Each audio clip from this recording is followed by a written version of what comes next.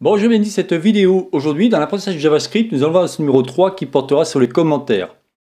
Alors, petit aparté, on fera en sorte avant de vous expliquer ou de vous réexpliquer euh, les commentaires, comment faire sur le HTML, le CSS et bien évidemment ensuite on verra le JavaScript. Donc, sans plus attendre, regardons cela sur ce blind test. Ok, donc nous voici dans ce blind test.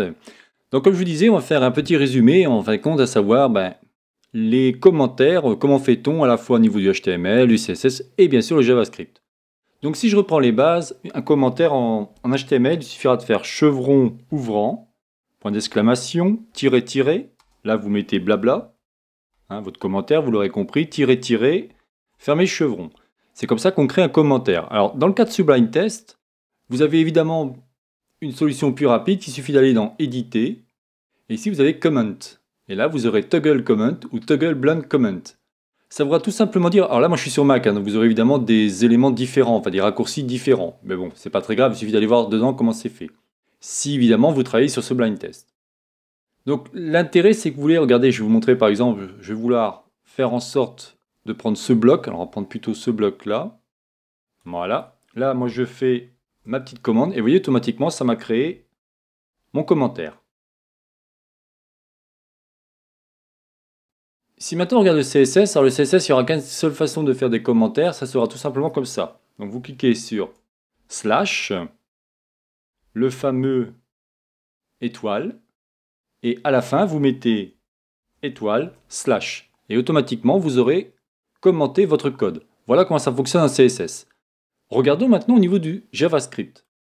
Alors le JavaScript, donc là j'ai gardé la même chose que la dernière fois, hein, c'est-à-dire c'est l'exercice 0 sur l'insertion du code. Pour l'instant on n'a pas encore vu le code. Bien évidemment pour la prochaine vidéo, je styliserai le framework Bootstrap 4.0 et on va commencer à apprendre les variables, mais chaque chose en son temps. Donc ici, au niveau de alerte c'est cool, si je veux le commenter, il suffira de faire slash slash, vous voyez, automatiquement, mon commentaire va être fait. Si maintenant je veux commenter un ensemble d'éléments, c'est-à-dire un bloc, mais il faudra faire exactement comme le CSS. Vous voyez, je fais ça, donc slash étoile, et admettons, je vais finir, on va dire ici, je mets étoile, pardon, slash. Et vous voyez, automatiquement, mon commentaire a terminé. Donc si on résume, on aura ici, vous voyez, on a le premier commentaire en HTML. Ici, vous aurez le commentaire, alors si je continue au niveau du CSS, slash étoile, étoile slash. Et au niveau du JavaScript, ce qui est évidemment le plus intéressant pour nous, c'est donc pour une seule ligne, c'est slash slash. Vous voyez, on aura tout simplement une ligne. Et ce sera exactement la même chose que le CSS pour créer un commentaire au niveau d'un bloc. De Savoir pour tous, réalisé par Jean-Michel. Si vous avez aimé cette vidéo, n'oubliez pas de liker ou tout simplement vous abonner à ma chaîne. N'hésitez pas à me faire des commentaires, je me ferai un plaisir de vous répondre. Pour la prochaine vidéo, nous verrons la gestion des variables. Nous allons enfin découvrir ou commencer à comprendre qu'est-ce qu'une variable en JavaScript. Je vous souhaite une bonne journée et à la prochaine vidéo. Bye bye